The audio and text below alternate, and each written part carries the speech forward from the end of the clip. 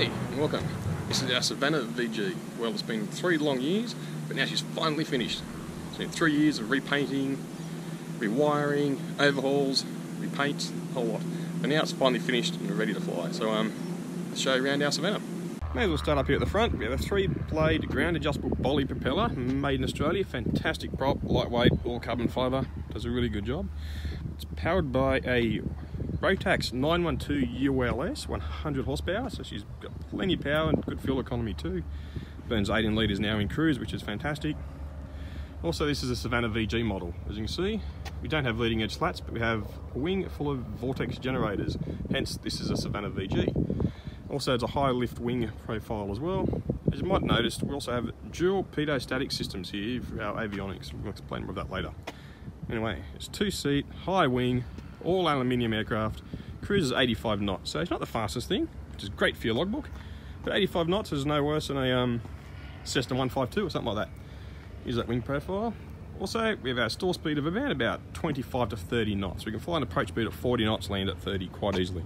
As you can see, we have full span flaperons here, both flap and aileron, which also give fantastic low speed control, especially in the um, high angle of attack regime, because you've still got full airflow over those ailerons while you're um, high angle of attack. I know it's a Noswell bush plane, but we do have fat tyres. So Trent Palmer and um, Greg Swingle, don't stress out too much. You do have fat tyres in the garage waiting to go on here, but we need to um, upgrade the brakes first because with those fat tyres, the brakes just aren't powerful enough, and the, you can't even do a run up, so it just drags itself. So the fat tyres are going on there soon, so don't worry about that. She's not the most attractive aircraft, but I think it's quite good. People call it the flying garden shed. Here we have a tail. Because it's a low speed bush plane, we have relatively large elevators and rudders. As you can see, we've got plenty of plenty of movement in this elevator. Both ways. And a big full size rudder, which is fantastic for great control even at speeds as low as 30 knots.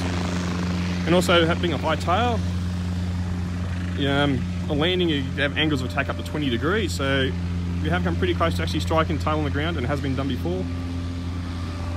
And As you see up here, we have three fuel tanks. Now we only have three fuel tanks because this has a max takeoff weight of only 540 kilos.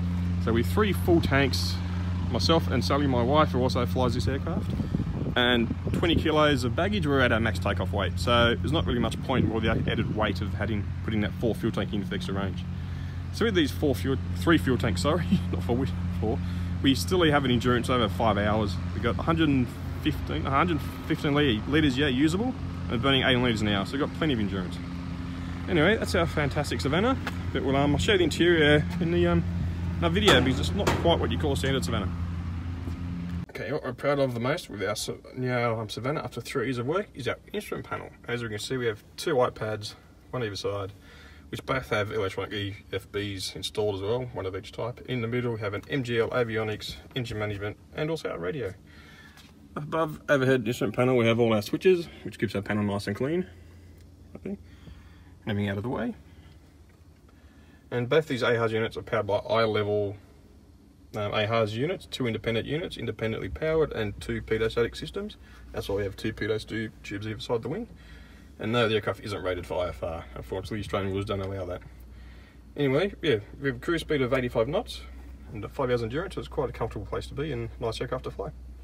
So anyway, that's a quick intro to our Savannah, ICP Savannah. Um, seeing we haven't flown this th almost three years now, we're about to um, park in an hour of circuits to get the feel of how she flies again before we start off on more adventures and a lot more videos to come.